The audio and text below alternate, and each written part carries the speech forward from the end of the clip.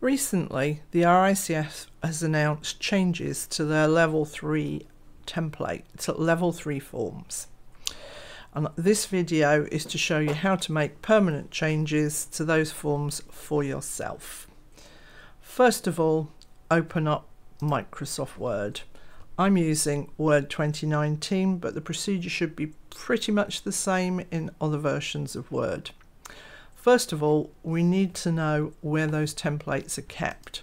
So in order to find that out, File, Options, Advanced, and then scroll down until you get to General. Underneath General, there's File Locations. Click on that button and you want to know whether user templates are kept and this can be different on every computer you can't actually see the whole file path here so if you click on modify you can see it along the top. And mine is users so app data roaming Microsoft templates. So write that down and then cancel out of it. Close cancel and close word. Next we're going to take a backup copy of the template. So in case you mess it up, you've got something to go back to.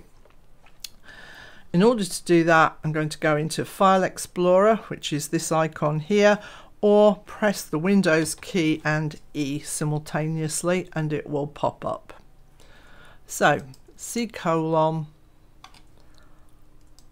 users so and you can see app data is sort of faded out. If you can't see app data at all, you need to go into view and make sure that there is a tick in hidden items. You can see if I get rid of the tick, app data disappears. If I put the tick in, there it is. So I'm going to go app data, roaming, uh, Microsoft, ooh, whoops, Microsoft, and templates and in there you can see level 3 2021.x now at this point it's a good thing to do to take a copy. Yeah? Um oops. So copy and then put that copy somewhere. So I'm just going to paste it into that folder there. But yeah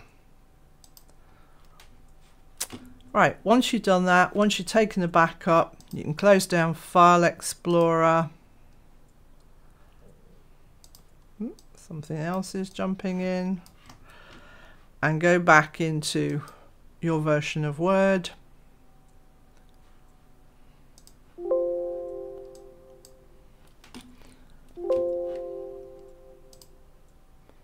Okay, you shouldn't get those error messages. And say File open, browse, and whatever your file path is. So mine is C colon users. So app data, roaming, and templates. Oh, sorry, Microsoft and templates. And there's the level three. And I want to open that level three. And you can see up here it says .x and that tells me I've got a template open and not a document. So any changes I make will be absolutely permanent. So I'm going to scroll down to page 4 which is where the change is. And here I've got the wording from the RICS so on page 4 underneath the about the inspection the term best endeavours has been replaced with reasonable efforts. So I'm just going to do that. So I'm going to copy it and then where it says best endeavors here, I'm going to make it reasonable efforts. Now I've made that change, I can close it, I can save it, and away I go. Get rid of that, whoops. Get rid of that. Reopen Word. RICS home surveys, level 3, loading new report. Scroll down to page 4 and there we go. It now says reasonable efforts. Um, and that's it. Okay, thank you for listening.